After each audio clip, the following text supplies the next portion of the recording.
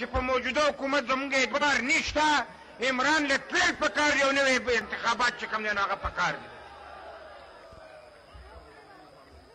ولې نشي راغته کسه چالي دا پوړې لګي دا څه ز مریم بیبي له ترور د عمل درآمد نکولو خلاف د پارلیمان د بې توکیره خلاف د ټول پاکستان ولس خپل خپل بیرغ سره او خپل خپل جنډې سره راوته دی تاسو ټول ته به زمونږ دا خواست دي چې ډېر ګرانو ملګرو یو خو دلته چې د میډیا ملګري راځي هغوی ته تاسو لږ ځای ورکوئ بل هغه ځای ته لږ واوړئ چې یو بل ته اسانتیا شي چې روستي خلک در پسې راځي د دې اړه خلک لږ واوړئ او زه اوس چې کوم دی نور زموږ مشران سټیج ته راختو واله دي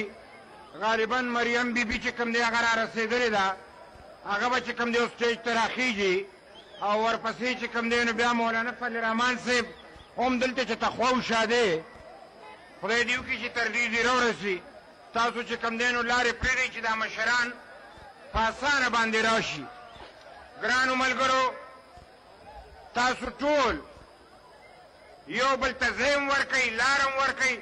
ځکه چې دا ریلي ده او د ریلۍ لپاره چې کوم دی داسې سټیجونه نه وي، هغه هم په لاره ځي او په لاره تقریرونه کوي. نن د مردان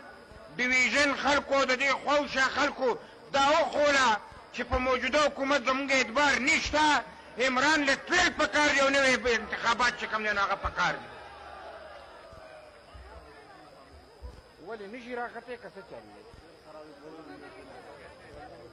دا پوړی لګې داسې زه مریم بیبي دلته راورسېده